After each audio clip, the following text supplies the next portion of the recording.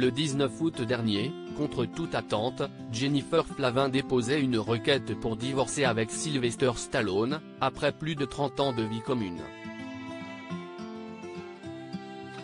Ce fut la stupéfaction générale pour les fans de la star de Rocky et Rambo d'apprendre cela puisque l'artiste de 76 ans semblait filer le parfait amour avec sa dulcinée, en témoignent leurs déclarations d'amour respectives sur Instagram il y a seulement quelques mois à l'occasion de leurs 25 ans de mariage. Mais ce lundi, l'acteur américain a partagé une photo sur le réseau social qui a laissé ses abonnés perplexes. Sur ce cliché, on l'aperçoit de dos en train de tenir la main d'une femme qui ressemble étrangement à son ex, de par sa silhouette et ses cheveux, bien qu'il soit impossible de le démontrer puisque son visage n'apparaît pas à l'écran. Sauf qu'il a publié une seconde photo bien plus explicite sur laquelle on le voit poser avec son ex et ses enfants lorsqu'il était plus jeune.